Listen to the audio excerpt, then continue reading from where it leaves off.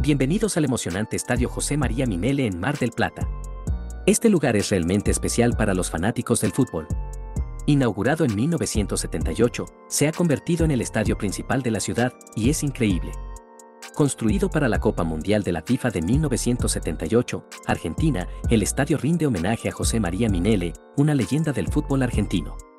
Tiene una capacidad para albergar a más de 35.000 espectadores. Las cuatro torres de iluminación hacen que los partidos nocturnos sean realmente espectaculares. El Estadio José María Minele ha sido escenario de momentos futbolísticos inolvidables, como los partidos de la Copa Mundial de 1978 y los encuentros de equipos locales como Aldosivi y Alvarado. Pero hay más, también ha albergado competencias de atletismo, recitales de música y hasta partidos de rugby y hockey. Es un lugar lleno de vida y emoción.